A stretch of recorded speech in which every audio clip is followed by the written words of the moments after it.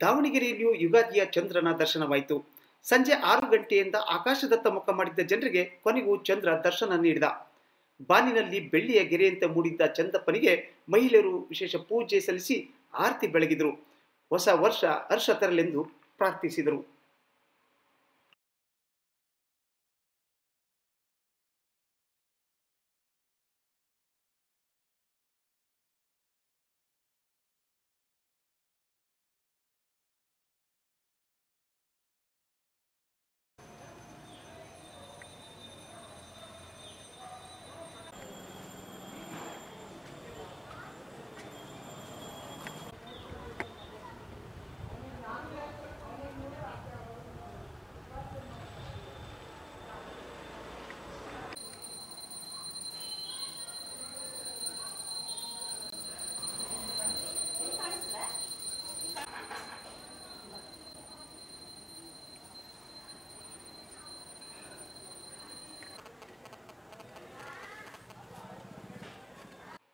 ಇನ್ನು ಚಂದ್ರನ ದರ್ಶನ ಪಡೆದ ಜನರು ಒಬ್ಬರಿಗೊಬ್ಬರು ಪರಸ್ಪರ ಶುಭಾಶಯಗಳನ್ನ ವಿನಿಮಯ ಮಾಡಿಕೊಂಡರು.